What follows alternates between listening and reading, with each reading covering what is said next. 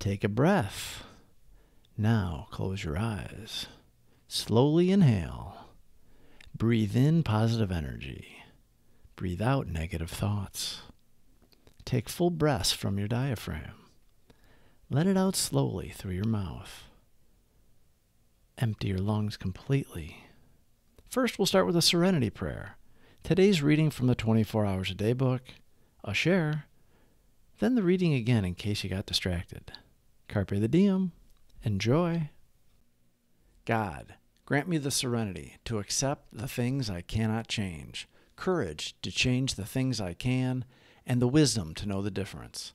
Grant me patience with the struggles that take time, and appreciation for all that I have, tolerance of those with different struggles, and the strength to get up and try again, one day at a time. Consider do we remember where self will and self knowledge got us? April 24th, thought for the day. It's been proved that we alcoholics can't get sober by our own willpower. We've failed again and again. Therefore, I believe there must be a higher power, which helps me. I think that the power is the grace of God. And I pray to God every morning for the strength to stay sober today. I know that power is there because it never fails to help me. Do I believe that Alcoholics Anonymous works through the grace of God? Meditation for the day. Once I am born of the Spirit, that is my life's breath. Within me is the life of life, so that I can never perish. The life that down the ages has kept God's children through peril, adversity, and sorrow. I must try never to doubt or worry, but follow where the life of the Spirit leads. How often, when little I know it, God goes before me to prepare the way, to soften a heart, or to overrule a resentment. As the life of the Spirit grows, natural wants become less important. Prayer for the day. I pray that my life may become centered in God more than in self. I pray that my will may be directed towards doing His will. Alcoholics drink for the effect produced. Dr. Silkworth laid it out succinctly in the doctor's opinion at the beginning of the Big Book. Men and women drink essentially because they like the effect produced by alcohol. The sensation is so elusive that while they admit it is injurious, they cannot, after a time, differentiate the true from the false. To them, the alcoholic life seems the only normal one. They are restless, irritable, and discontented, unless they can again experience the sense of ease and comfort which comes at once by taking a few drinks, drinks which they see others taking with impunity. We have been searching for our higher power the whole time, a power greater than ourselves, with which to place our faith.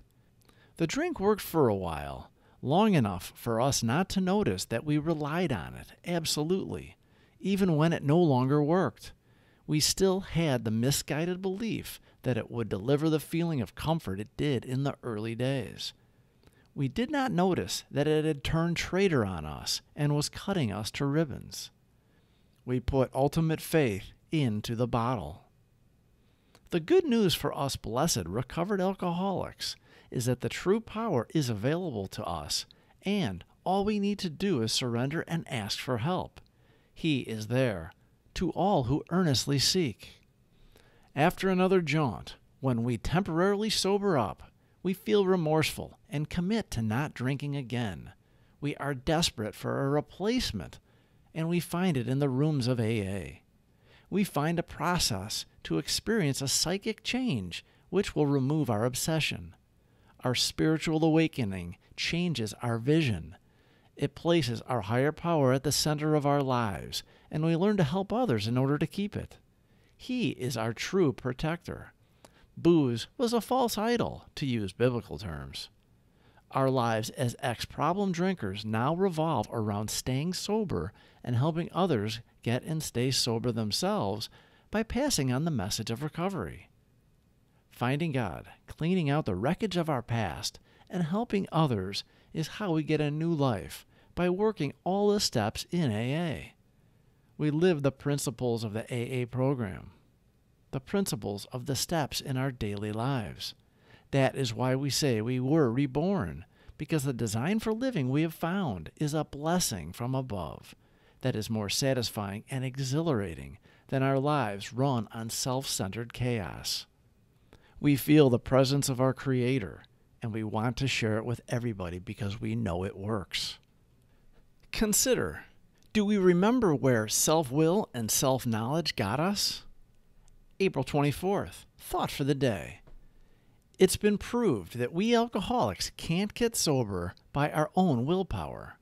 We've failed again and again. Therefore, I believe there must be a higher power, which helps me. I think that the power is the grace of God. And I pray to God every morning for the strength to stay sober today. I know that power is there because it never fails to help me. Do I believe that Alcoholics Anonymous works through the grace of God? Meditation for the day. Once I am born of the Spirit, that is my life's breath. Within me is the life of life, so that I can never perish. The life that down the ages has kept God's children through peril, adversity, and sorrow. I must try never to doubt or worry, but follow where the life of the Spirit leads. How often, when little I know it, God goes before me to prepare the way, to soften a heart, or to overrule a resentment. As the life of the Spirit grows, natural wants become less important. Prayer for the day. I pray that my life may become centered in God more than in self. I pray that my will may be directed towards doing His will. Carpe the diem, boys and girls. Please subscribe for more videos. Thank you for watching.